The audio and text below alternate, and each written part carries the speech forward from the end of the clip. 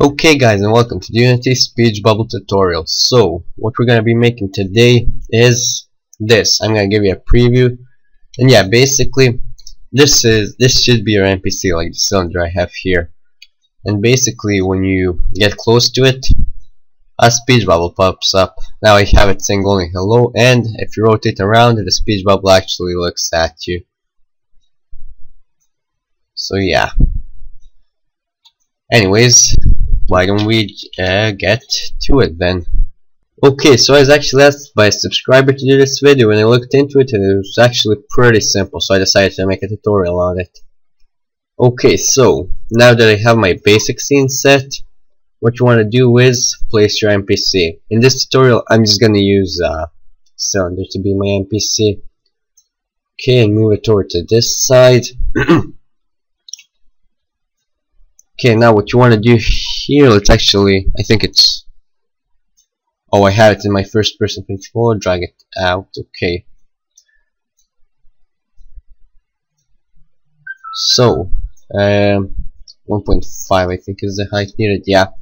Anyways, go into your NPC, let me just rename this then. And go add component, and we want us a capsule collider I'm pretty sure.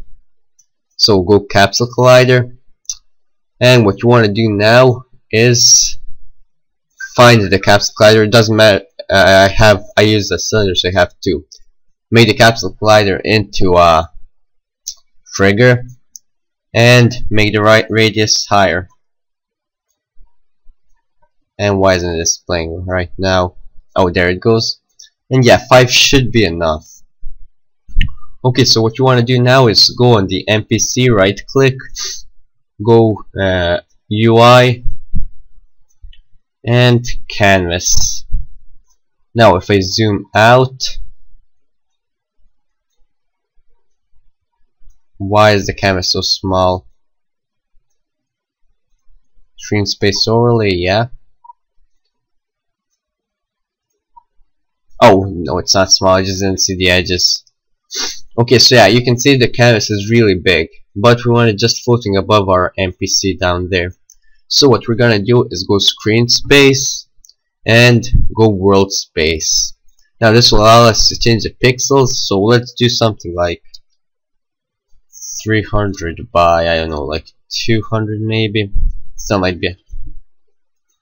Actually, let's go 500 by 300 this just says the size. Now this is still really big compared to our floor and everything but what we can do is change the scale. So let's go 0, 0, 0 0.005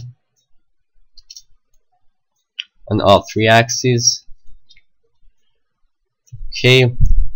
And now if we zoom in here you'll see it's smaller. Uh, set the position to 0 0 0 out all the way.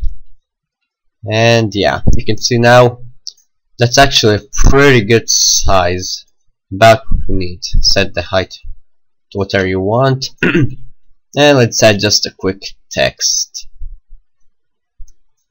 UI text.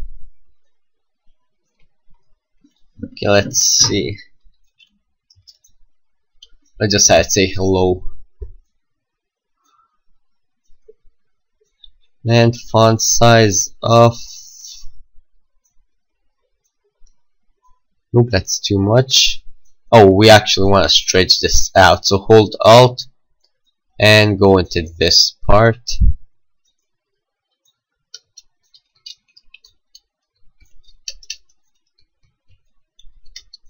Okay, so yeah.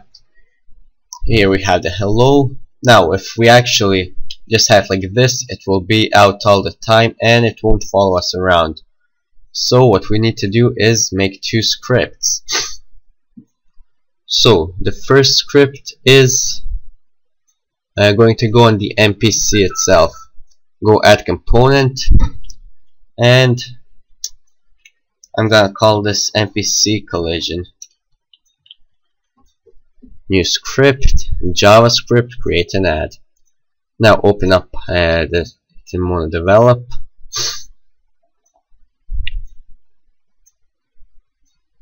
Okay. Let me just resize this. Oh, I have to open. That's why it gave me the error. Okay, so uh, first off, we need a variable for our canvas. So we're gonna go var canvas of type canvas and end the line. So function start, we're gonna change into uh, function on trigger enter.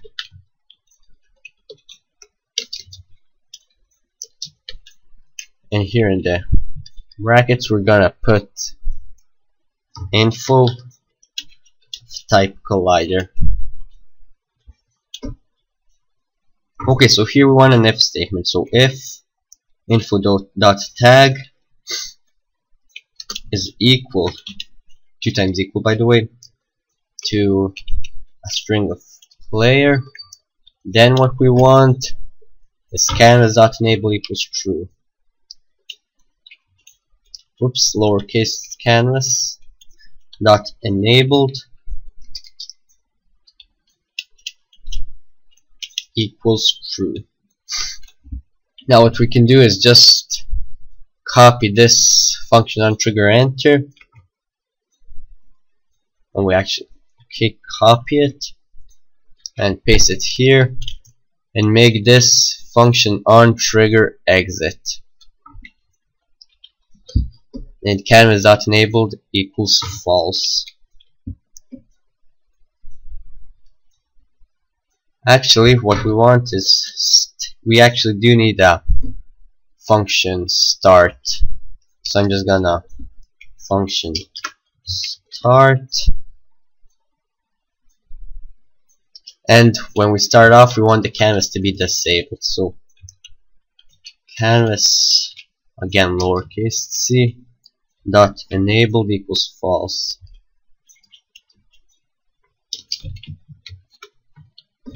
Okay so now go back into your unity editor. Oh I misspelled it here.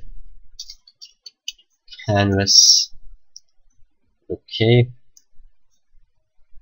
Whoops. There we go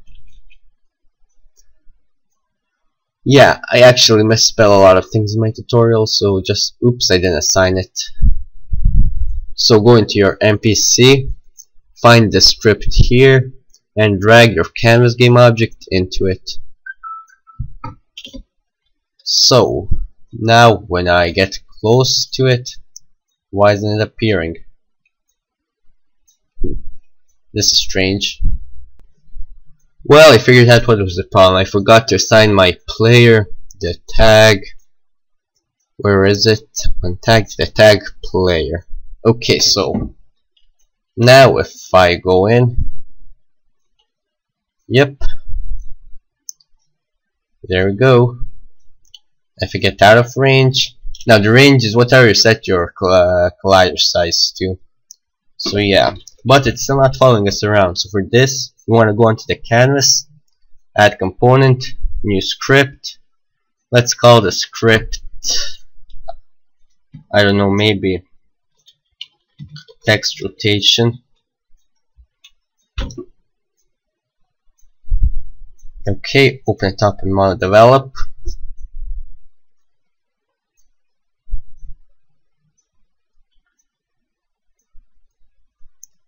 and what we want to do here is go variable player of type transform with an uppercase T and in function update go transform dot rotation is equal to player dot rotation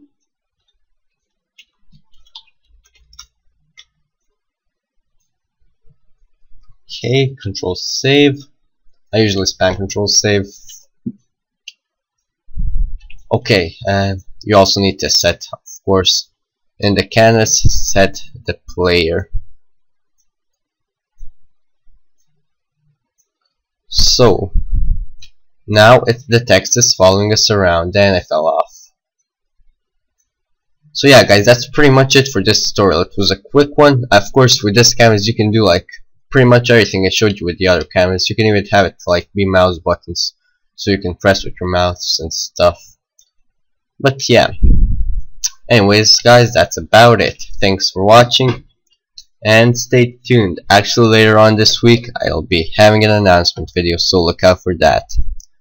Until then see ya